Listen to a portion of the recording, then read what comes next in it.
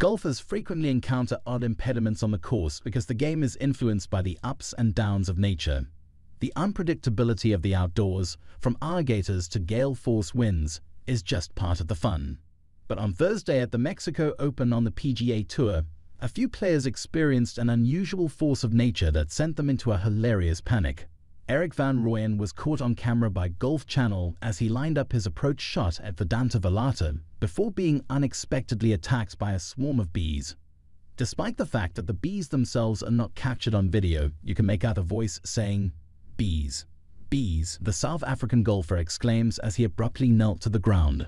The cameraman then follows the rest of Van Rooyen's group, including Francesco Molinari and Chez Reavie, to the side of the fairway and ducks down.